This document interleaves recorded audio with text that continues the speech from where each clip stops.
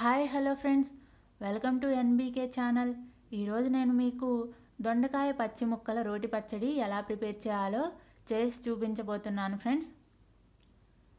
కావలసిన ఇంగ్రీడియంట్స్ దొండకాయలు పచ్చిమిరపకాయలు జీలకర్ర వెల్లుల్లి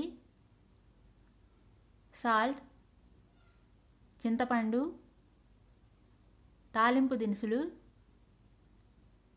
ఆయిల్. ముందుగా దొండకాయలను ఇలా చిన్న ముక్కలుగా కట్ చేసుకొని కట్ చేసిన ముక్కల్లో నుంచి చిన్న సైజు కప్ అంత ముక్కలను తీసి పక్కన పెట్టుకోవాలి ఫ్రెండ్స్. స్టవ్ ఆన్ చేసి పాన్ పెట్టి two tablespoon oil add చేసి ఆయిల్ హీట్ ఎక్కిన తర్వాత నేను పావు కేజీ దొండకాయలకు యాభై గ్రాముల వరకు పచ్చిమిరపకాయలు తీసుకున్నాను ఫ్రెండ్స్. మంటను బట్టి మనం పచ్చిమిరపకాయలను యాడ్ చేసుకోవాలి. ఇలా ఫ్రై అయిన పచ్చిమిరపకాయలను ఒక ప్లేట్లోకి తీసుకొని అదే ఆయిల్లో కట్ చేసిన దొండకాయ ముక్కలను కూడా యాడ్ చేసి వన్ టేబుల్ స్పూన్ సాల్ట్ కూడా యాడ్ చేసి ఫ్రై చేయాలి ఫ్రెండ్స్.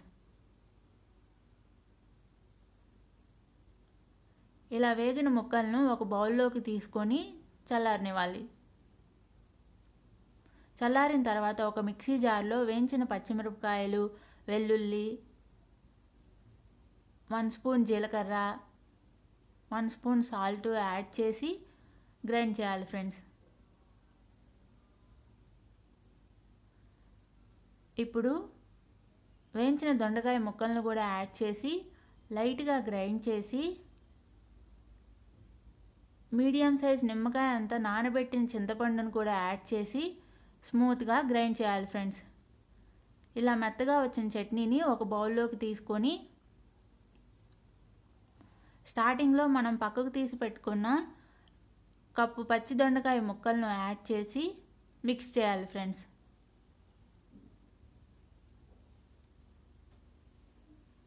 స్టవ్ ఆన్ చేసి పోపు కళాయిలో త్రీ టేబుల్ స్పూన్ ఆయిల్ ఎండుమిరపకాయలు తాలింపు దినుసులు కరివేపాకు వేసి వేగిన తర్వాత ఈ తాలింపును చట్నీకి కలిపి సర్వ్ చేసుకోవాలి ఫ్రెండ్స్. చూసారు కదా ఫ్రెండ్స్ చట్నీ ఎలా ప్రిపేర్ చేయాలో?